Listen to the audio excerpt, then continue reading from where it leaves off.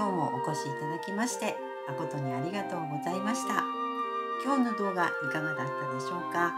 このチャンネルではつまみ細工を通して和文化を皆さんに知っていただき興味を持っていただこうと思っています。コメント欄に何かあればご質問ですとかえこういうのはどうかなっていうのを書いていただけるとまたこちらの方から発信させていただきたいと思っています。